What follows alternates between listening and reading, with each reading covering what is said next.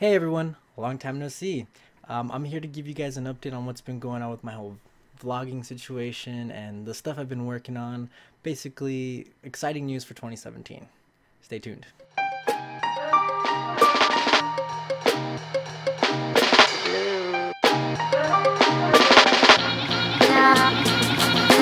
So, as you know, we're well into the holidays right now, and a majority of the populace around the states and you know, some people around the world are celebrating their respective holidays of choice, and that's greatly impacted my energy levels and my workload. Um, uh, some of you guys don't know this, but I do work for a giant company known as Amazon, and yeah, we are busy a lot, especially during these times. You know, we got we had the Black Friday, Cyber Monday, Christmas shopping. It's hectic right now. But uh, yeah, that's kind of some of the things I've been dealing with. We, we call it peak season. Uh, now, mind you, on top of that, I'm also a night shift worker. Uh, you can only imagine the struggle it is to have to work five 12 hour shifts. It's, uh, yeah, graveyard shifts too. It's pretty bad. Um, so with what little free time I do have, I kind of just stay in bed and watch a little bit of Netflix. Hey girl, hey girl. So another lingering issue that kind of reared its ugly head was my old camera. I don't know if you guys remember uh, G7X here. I used it a lot in a lot of my old videos.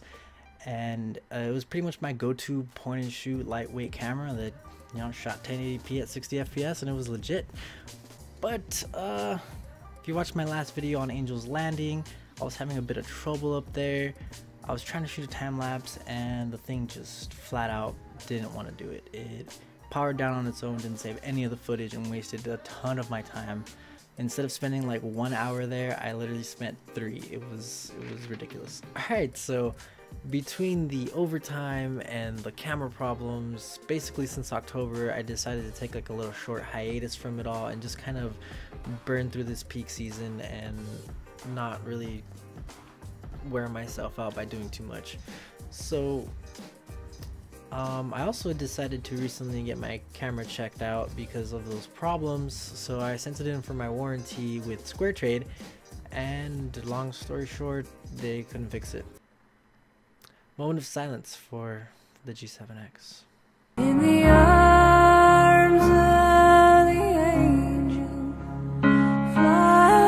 Alright, but yeah, um, So if you guys don't know anything about SquareTrade, they're a company that provides basically like insurance or warranty on products you buy through Amazon or basically anywhere as long as you can provide proof that you bought it. And the purchase has to be within 30 days or the warranty has to be within 30 days of that purchase and yeah they basically got you covered if you buy the right package.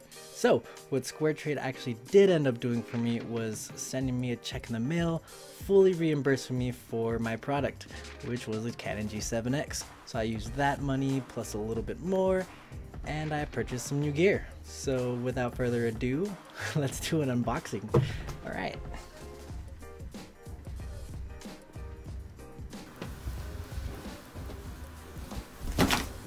Alright, so as you guys can see, I have kind of a care package of camera gear here, as well as a new tripod that I purchased. I've been pretty much direly in need of one of these. I had my eye on this puppy for a while, so uh, yeah, it hit a nice sale for all these things, and yeah, let's start off with the tripod, because I'm actually going to use that in this video, so, and then I'll show you guys the camera that I got let's see here. This is the Vanguard Alta Pro 264AB100. It is a special tripod made out of aluminum and on top of that it has a ball head. Uh, it also has one significant feature which kind of sold me on this particular uh, model here. Not quite the ball head, I'm not too impressed with the ball head, it looks really basic. But uh, yeah. Ooh. So we got some goodies there. The tripod itself is here. I believe this is a carrying case. I'm not too worried about that. I mean, let's see if there's anything inside of it. But for the most part, it should just be a carrying case that I probably won't really use that often anyways. Nice little retractable lines there. A strap, pretty basic. It's orange and black. Vanguard. Alright. Get to the important part of this. Alright. And here we have some packs and the plates, the mounting plates. Ooh. It's girthy. It's not as heavy, but it's it's perfect actually for what I need it. Awesome. Some sort of a multi-tool here. Let's check these out. So let me show you guys the thing that basically sold me on this particular tripod. If I can figure it out here. I believe it's...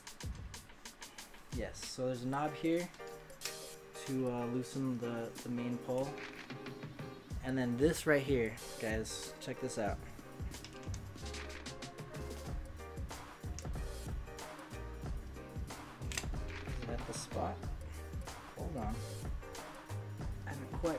Out yet. There it is. Alright. Definitely there it is. Oh, this just tightens. Okay, I got it. So yes, this, this is what I'm talking about. You see this locking mechanism here? It allows you to take out the center column and, and basically just get this thing completely vertical if you want it. That locks it in place like legit. There's no moving that. It's pretty solid. That, that is gonna be great. The reason that is gonna be great is because you can get these crazy low shots, dude. Like, look at this thing. And with the ball head and all.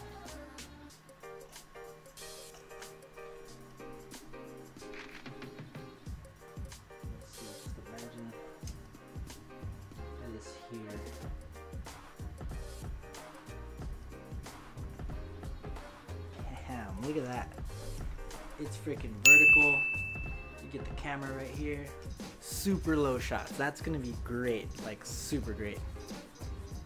Oh, awesome. That's what it's intended for. However, I think there's another use for this. Now I have a backpack with this with this crazy angle. I have a backpack that can basically hold on to this tripod behind behind my shoulder and picture this this thing basically being behind my shoulder getting a nice almost third person over the shoulder shot. It's it's gonna be it's gonna be pretty much amazing. I don't know if you guys can see but like imagine this pole over the shoulder just that's my plans for this thing. And i already see it's gonna work perfectly just by just by this angle alone. And how high up this thing gets. With the ball head perfectly just yeah, everything is exactly as I imagined it. That's gonna be sick. Expect something like that soon. Alright. Um, uh, a third application I have for this thing that also will work is table shots. If I want to review a product, which I plan to right now, So this isn't like the most optimal setup, but uh, as you guys can see, now I, you guys can have like product reviews that I can do or, or just things that I want to open up or play with on the table. This is the old box for my Canon G7X. Uh, we're just gonna we're just gonna throw that away because uh,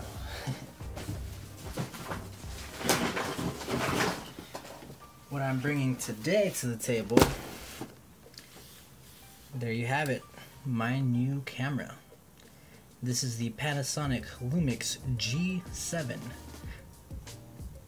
This thing shoots in 4K as you can see here.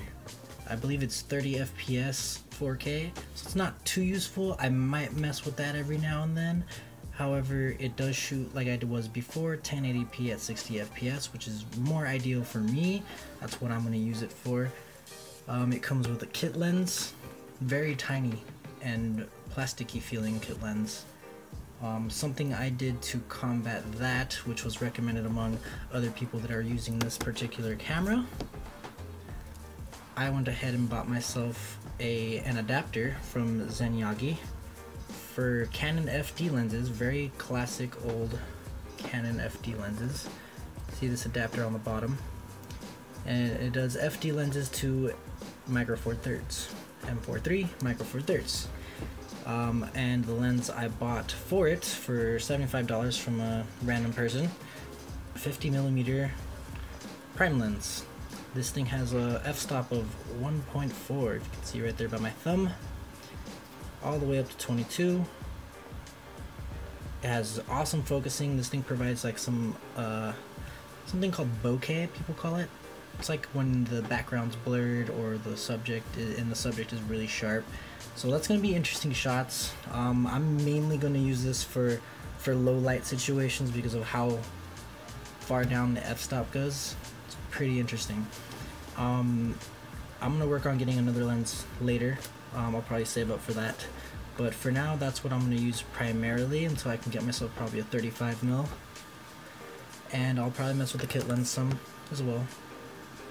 Um, if you, anybody works at Amazon or has worked for Amazon, I think you'd recognize these. Need it that bad here, but so I did notice this was it looked like it was a little open, but I I haven't opened it. I actually don't even know if there's actually a camera in here. I, I would hope so. Um, yeah, cool. Let's see what we got.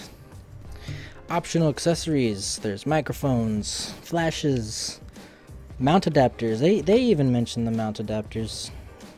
Not the particular one that I got, but... See, uh, one of the things about the mount adapter that I got, though, you're sacrificing your autofocus to do a manual focus, which is kind of, it kind of sucks, but at the same time, for the quality you're going to get from this glass, you can't really argue. Like, it, it's a huge jump up from what I've seen. I mean, you can argue it all day, but for the price you're getting for that quality, it's pretty worth it. And I actually want to learn how to pull focus a lot better and stuff. Uh, I got a Lumix G strap. The camera is in here. Damn, this thing is really light, guys. It's kind of scary.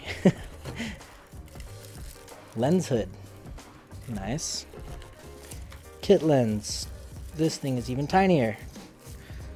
Uh, let's see what else we got in here. Cable, battery, battery charger, the official one. And that's it, empty box. So yeah, let's throw this away. Let's really get a look at this thing here guys. This is my new camera unveiling. Lumix Panasonic G7. This thing is scary light, guys. It is it is paper light. Holy crud. I don't even know how to like wow. Okay. Let's see, we have a flip out screen. That is gorgeous. Smooth too. It's exactly what I was hoping to get out of it. That's going to be great for capturing my shots. Just phenomenal. I'm going to have to buy a screen protector for that. It's even got a viewfinder. Something really nice for taking pictures. It's got flash, pop-up flash, I believe. Yep, sure do. Right here, you're going to be able to mount an accessory up here, usually audio or another flash. Nice knobs all around. Buttons. Lots of buttons. I'm going to have to figure this thing out. It's going to be a new layout. So many buttons, guys. It's nice.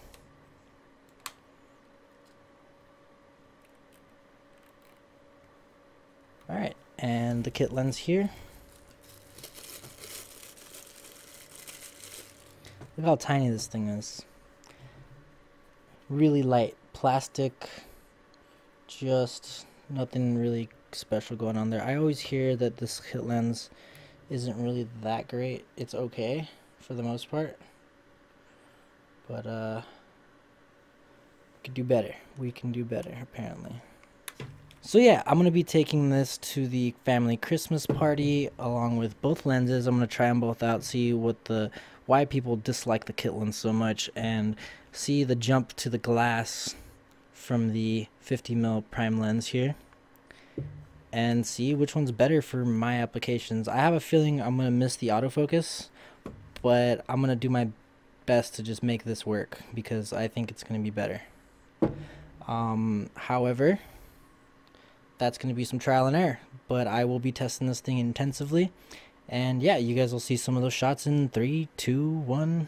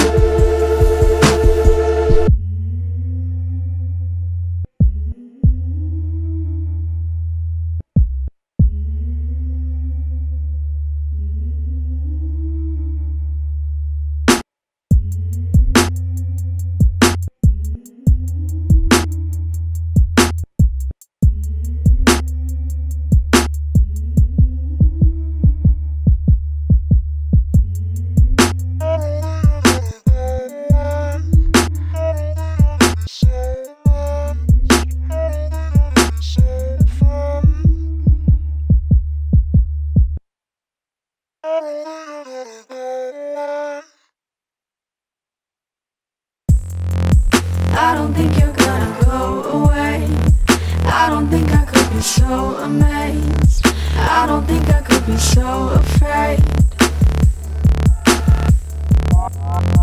I don't think you're gonna go away. I don't think I could be so amazed. I don't think I could be so afraid.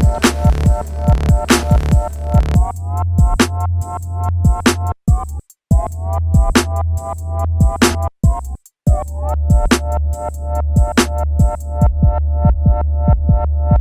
you.